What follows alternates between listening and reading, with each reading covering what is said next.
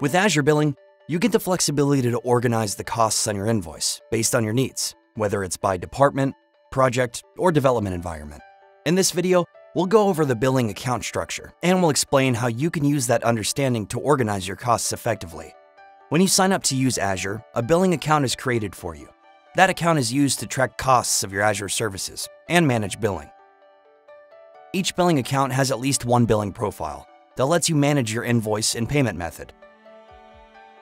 A billing profile is set up when you accept the agreement. A monthly invoice is generated for each billing profile and contains all its associated charges from the prior month. Each billing profile contains one invoice section by default. You may create additional invoice sections to easily track and allocate costs based on your needs, whether it is per project, department, or development environment. You'll see these sections on your invoice reflecting the usage of each subscription and purchases you've assigned to it. Now that you understand billing setup, let's look at how you can use your billing account to organize your costs. You sign up for Azure and need a single monthly invoice. You need one billing profile and an invoice section.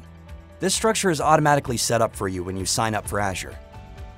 Now, let's assume you work for Contoso, a small organization that needs a single invoice each month, but wishes to group costs by department, marketing, and engineering. You would need a billing profile for Contoso and an invoice section for each department. Finally, you move to Fabrikam, a mid-size organization that needs separate invoices for engineering and marketing. For your engineering department, your business objective is to track the cost of production and development environments separately. Under this scenario, you would need a billing profile for each department.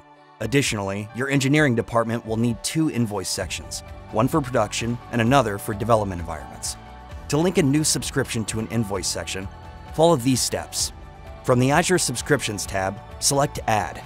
Give your subscription a name, choose a billing profile, and select the invoice section where you would like the subscription to be listed. to move an existing subscription from one invoice section to another. From the Azure Subscriptions tab, click the ellipsis next to the subscription that you want to move.